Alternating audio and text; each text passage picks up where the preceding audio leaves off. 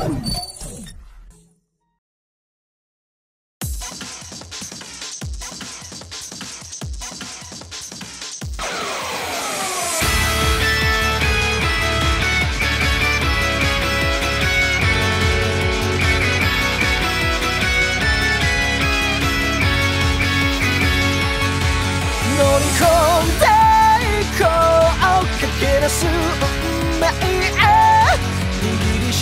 てきた夢だけがその瞬間に輝く。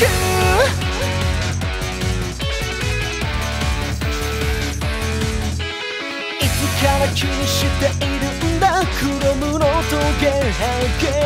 愛を故障大事にしてる。愛もむき出しのままで捨て駒もつきたての。この嫌な汗はなんだ。乗り込んでいこう。駆け出す運命に。日の風を切る船で追いかけよう。転がり続け先の保証など必要な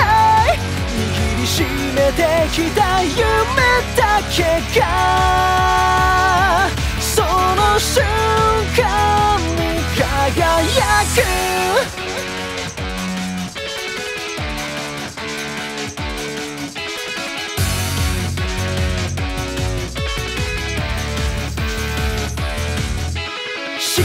けないようなことほど我慢して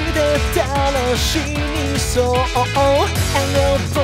じゃいけない。生でするからいいんでしょ。う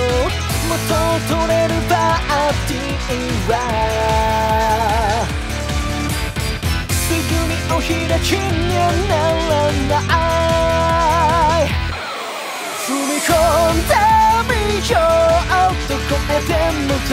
くへ境界線を知らずに行けるのか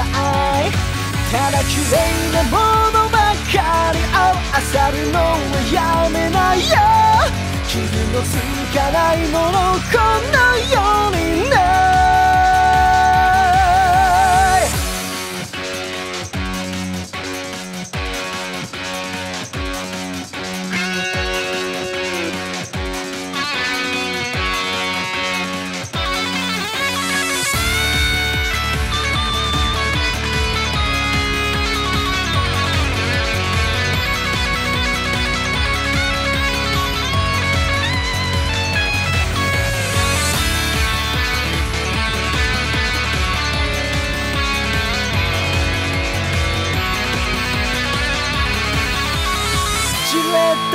魂が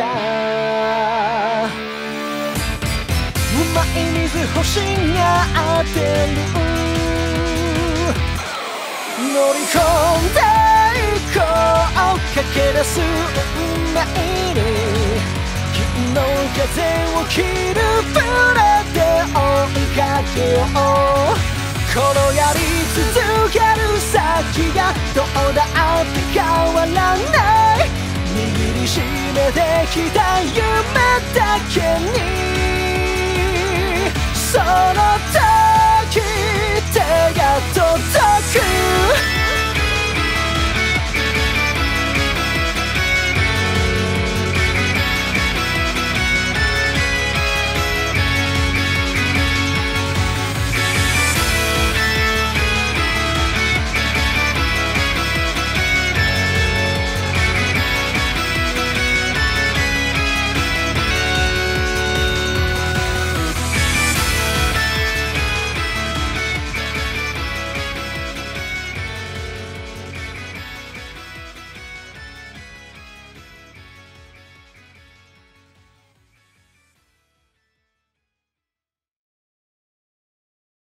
はいどうもゼクレです。アウト・オブ・オービットトリプルゼロテーム・レボリューションの曲でした。聴いてくださってどうもありがとうございました。この曲は朝倉大輔さんのプロデュースから西川貴教さんのセルフプロデュースに変わった1曲目の曲ということなんですけれども、まあ、最近の TMR と比べて、まあ、結構こう昔の TM レボリューションのこう雰囲気がすごく残った曲だなっていうふうに自分は感じたんですけれども、まあ、西川さんのセルフプロデュースになってから一発目の曲ということで、まあ、なかなかこう気合が入った曲になってるんじゃないかなというふうに思ったりもするんですけれども皆さんはどういうふうに感じますでしょうか？楽曲面としては、まあ、やっぱりこう TM レボリューションの朝倉大輔サウンドと言われるね、えー、サウンドがすごい、あのー、強い曲だと思うんですけれども、まあ、今回も楽曲制作、まあ、編曲ですねをやったんですけれども、まあ、自分的には他のの曲と比べて、まあ、こうすごい難しいというかすごい特殊な曲作りのやり方をしてるなっていう風に感じたんですよね。まあゼクレはもうもちろん自分のオリジナル曲をこう作ったりもするんですけれども自分では絶対やらないやり方をこう朝倉大輔さんがしてるのを今回楽曲制作をしてる間に気づいて、まあ、やっぱりこう朝倉大輔さんって天才なんだなっていう風に思ったんですけれども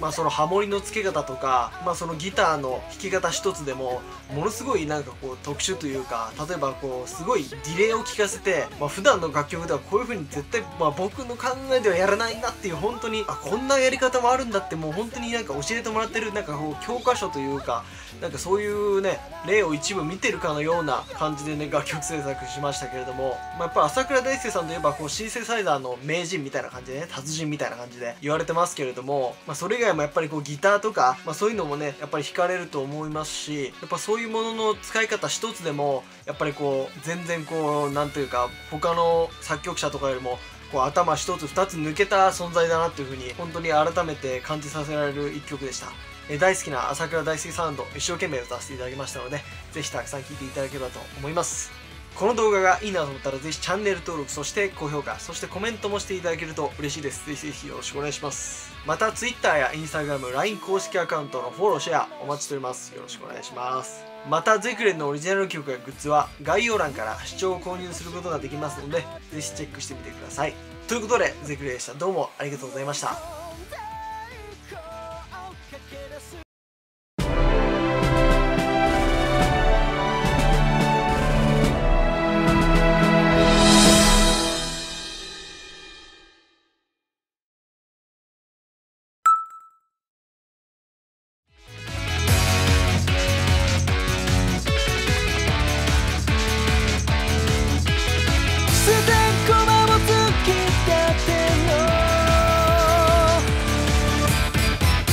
嫌な汗はない。